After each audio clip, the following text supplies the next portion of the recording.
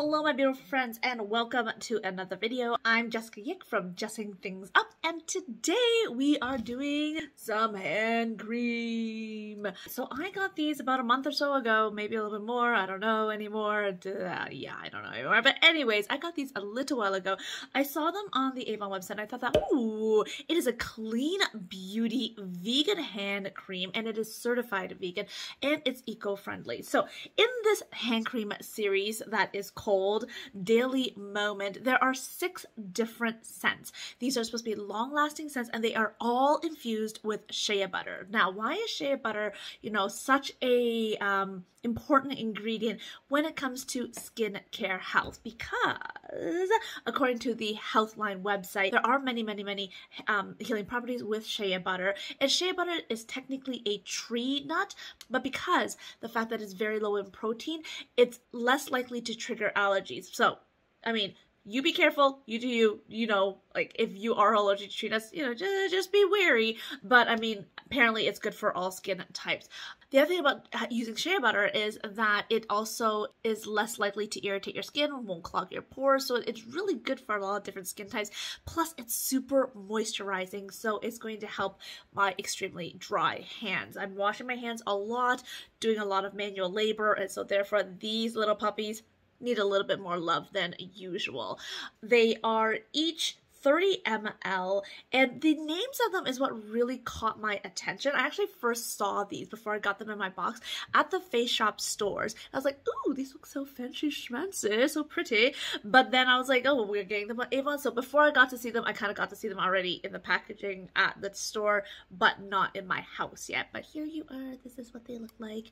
I don't know why they're numbered one to six. I thought it was part of a skincare regimen but it doesn't make sense for it to because it looks like most of the ingredients are exactly the same. The only difference is are the scent of it. So number one here, we have is the sunrise bedroom. So for each of these, what I'm going to do is I'm going to list it, show you, and then I'm going to do a little bit of a sniff test. So sunrise bedroom is supposed to have a more of a musk scent to it. And according to the packaging here, it has a cozy and snuggly clean musk scent. So let's sniff it out now. Here it is. This is my first time opening it. I wonder if they're all the same color. You'll see that it is sealed and shea butter is supposed to last quite some time too. Oh, it's nice. It reminds me a little bit like cinnamon. Ooh, okay, so let's also, this is my first time trying it on my hand. Oh, it absorbed quite quickly. It's not too thick, so it's not nearly as thick as our Moisture Therapy Intensive hand cream, but it's not quite as thin as um, the aloe ones. It's kind of like an in-betweener. All right, so it went on quite well. It went on quite smooth. Skin feels nice and smooth, doesn't really feel oily. Good. It reminds me of cinnamon for some reason. That is the first thing that comes to my mind. So it's a little bit warm, a little bit earthy, but has like a little bit of a bright note to it as well. I quite like it. The key notes of this one is bergamot, lavender, and cedarwood. Interesting. I don't know. Maybe I don't really know what, what bergamot smells like, but to me it smells like cinnamon. All right, let's move on to number two. So number two here, this one is called Morning Florist. So my assumption is that it's going to be very florally. And according to the back, it says that it's a fresh floral fragrance of rose blooms. I'm trying to do different parts of my hand so that I get the most of it. Oh, I like this one a lot. As I'm getting more mature, I'm noticing that I like like rose scents more and more. And this one is lemon, Bulgarian rose, and violet leaf. This one I really like. It's like, it reminds me a little bit of the Velmont Black Rose body essence. Just ever so lightly, not quite as like sexy, a little bit more fresh. I'm guessing that's the lemon but it smells lovely. All right, let's move on. Here we are, number three. This one is called Noon Park, and this one is supposed to have a refreshing, sparkling citrus fragrance to it. I like citrus, so, oh. This one has a very clean scent to it. It's kind of like bright, really nice very light. And what I really like so far about all these scents is that none of them are like overpowering. So this one has grapefruit, hyacinth, and iris. Okay, so the grapefruit, that's what I really like because I love the scent of grapefruit. Like grapefruit always has almost like a little tiny bitterness to it, but then fresh, for me anyways, that's what I, I always attribute it to. Like I can almost like taste the grapefruit. I really like this one. I love the scent of grapefruit though. It's so light and fresh. And just like that little bit of floral at the end. Next here, number four, we have is Sunset Rooftop. I love the names of these. I wonder how they came up with it. That's I found that really, really interesting. So for Sunset Rooftop, it's supposed to be a cool fragrance with a hint of sweetness. I'm just gonna smell some coffee first just to kind of reset my nose.